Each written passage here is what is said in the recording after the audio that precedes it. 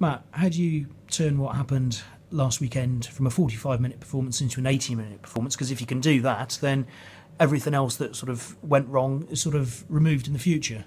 Yeah, I think um, we've had a look this week and just try not to go into our shells, which I think we did a little bit in the in the second half. We tried to to see the game out and rather than just keep playing the way we were playing, we you know we you know we, we had them in that first half and and, and, and beginning of the, the second, but um, we just let them in by by mostly our errors. Really, it wasn't wasn't they did anything differently or played particularly well. We just we just shut up shop and and didn't really work for us.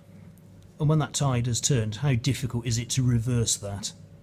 Um, yeah, it's tough because, like you say, rugby is a big momentum game, and when it's not going your way, it, it's sort of a bit of a slippery slope. And I think we backed up a couple of errors. You know, if you make an error, it's not the end of the world. But if you back it up with another one, another one, and three, four, five, and it, becomes quite difficult. And then we're sort of chasing our tails a little bit. I think that happened in that second half, and probably lost a little bit of confidence. And like I said, gone into our shells, not played as much, and, and for that reason, they've just they've just not back in the game Yeah, I suppose it's a position they've been in before and come out of successfully. And I suppose, you know, you'll only learn if you can actually come through that a couple of times, can't you? And then you sort of, then you've got that experience of, I suppose, cool heads.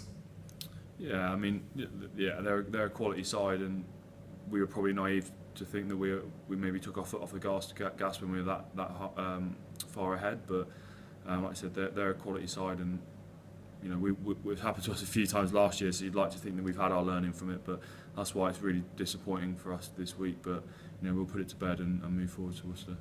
And is this a good game for you to, to go into because it's a local derby, and that, if nothing else, focuses the mind? Yeah, it'll be a tough one. Um, like Worcester are good, you know, built a really strong squad, and you know, look at their backs and you know, big forward pack as well. And um, I know the scoreline probably didn't reflect how close the game was against Sarries, but they really did push Sarries for for, for 40, 50 minutes, and, and you know Sarries obviously a top class side. So I think um, that you know we're going to have to go out with the same attitude as we did in, uh, against Leicester and and finish the way we did as well. So um, yeah, it'll be, it'll be a tough game. And is it still a special occasion for you going back to Six Ways? Yeah, it's always nice to go back there. It's um, obviously changed a lot since I've been there. Lot, I think there's probably only two, maybe three players that are still there. So it's um, yeah, it's a very different club, but um, lot lot of building work change and stuff like that's gone on. But um, no, it's always nice to go back and meet a few fans and, and play on the Six Ways pitch. Yeah. And I suppose in the Premiership, you know, it's been a long time since Gloucester have won there, isn't it? Yeah, I can't um, can't remember the last time to be honest. Um, so uh, yeah, it'd be a big job for us to uh, to go out, like I said, get the win. We said they're a quality side, so we've got to take nothing for granted, which which maybe we did last year. So we've got to make sure that we turn up, you know, all guns blazing and with the attitude, the way we started the game, and make sure we finish the, the way we start, really.